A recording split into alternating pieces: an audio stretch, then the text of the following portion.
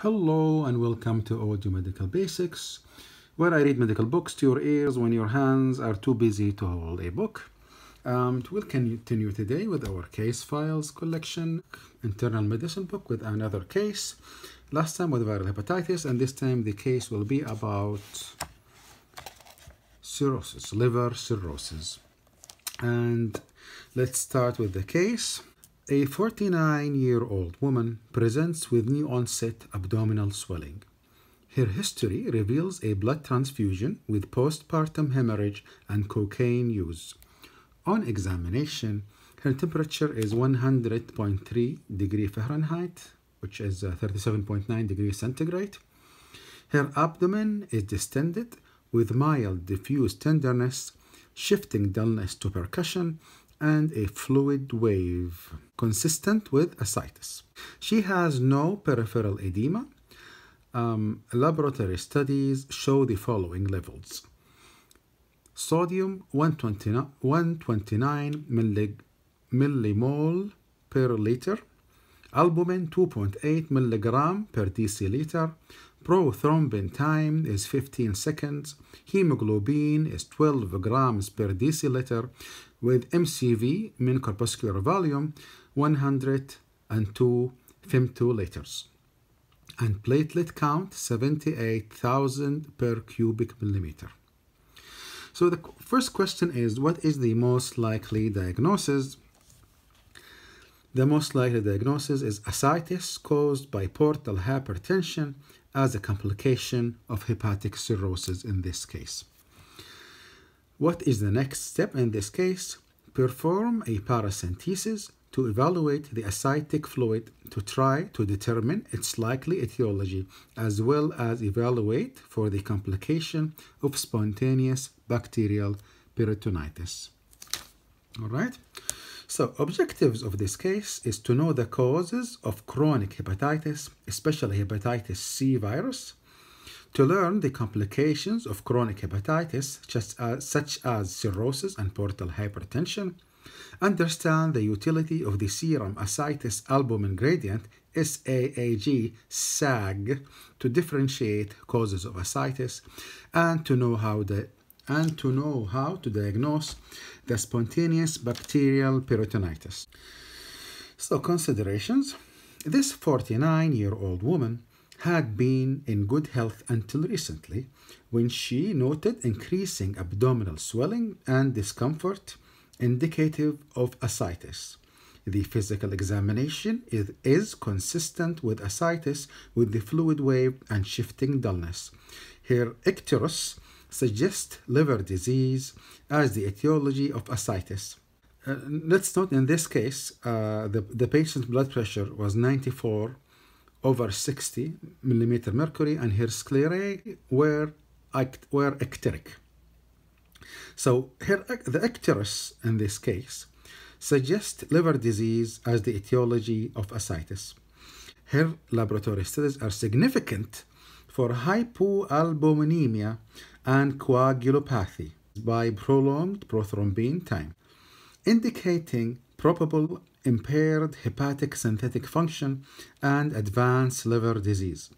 She does have prior exposures, most notably a blood transfusion, which put her at risk for hepatitis viruses, especially hepatitis C. Currently, she also has a low-grade fever and mild abdominal tenderness, both signs of infection. Bacterial infection of the ascitic fluid must be considered because untreated cases have a high mortality. Although a large majority of patients with ascites and jaundice have cirrhosis, other etiologies of ascites must be considered, including malignancy, thus paracentesis using a needle introduced through the skin into the peritoneal cavity can be used to assess for infection as well as to seek an etiology for, of the ascites. So, approach to clinical hepatitis. Definitions Ascites is abnormal accumulation of fluid within the peritoneal cavity. Abnormal accumulation of fluid, which is more than 25 milliliters within the peritoneal cavity. Chronic hepatitis is evidence of hepatic inflammation and necrosis for at least six months. Cirrhosis, histologic diagnosis reflecting irreversible chronic hepatic injury, which includes extensive fibrosis and formation of regenerative nodules. Definition of portal hypertension Portal hypertension is increased pressure gradient in the portal vein, more than 10 mm mercury, usually resulting from resistance to portal flow and most commonly caused by cirrhosis. Spontaneous bacterial peritonitis is bacterial infection of ascitic fluid without any interabdominal source of infection. Occurs in 10% to 20% of cirrhotic patients with ascites. Clinical approach. Okay. Chronic hepatitis is diagnosed when patients have evidence of hepatic inflammation and necrosis, usually found by elevated transaminases for at least six months. The most common causes of chronic hepatitis are viral infections such as hepatitis B and C, alcohol use, chronic exposure to other drugs or toxins, and autoimmune hepatitis. Less common causes are inherited metabolic disorders such as hemochromatosis, Wilson disease, or alpha 1 antitrypsin deficiency. Hepatitis C infection is most commonly acquired through percutaneous exposure to blood. It also can be transmitted through exposure to other body fluids Risk factors for acquisition of hepatitis C include, include intravenous drug use, sharing of straws to snort cocaine, hemodialysis, blood transfusion, tattooing, and piercing. Piercing. In contrast to hepatitis B, sexual transmission is rare. Vertical transmission vertical transmission from mother to child is uncommon but occurs more often when the mother has high viral titers or is HIV positive.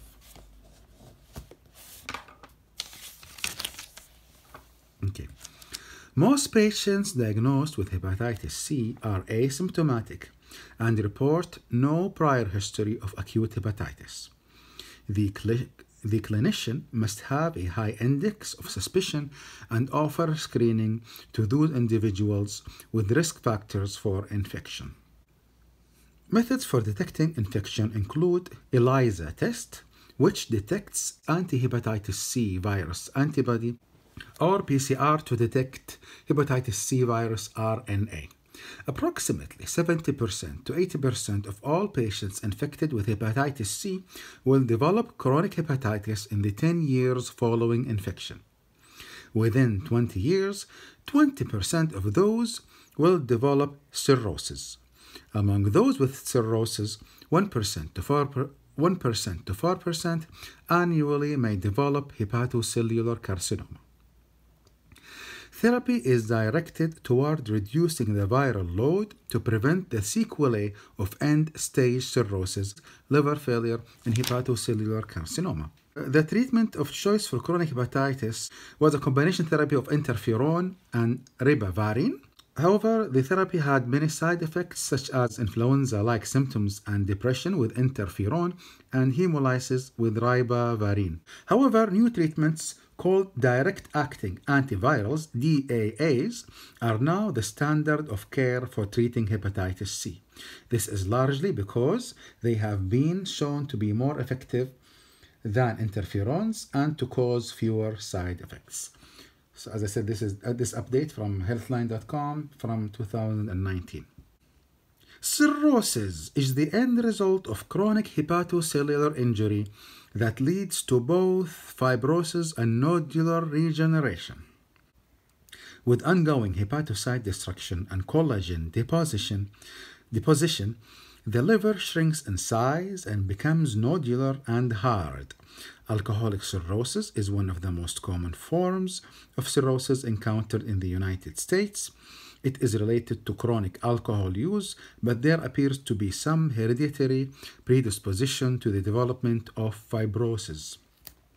And the process is enhanced by concomitant infection with hepatitis C.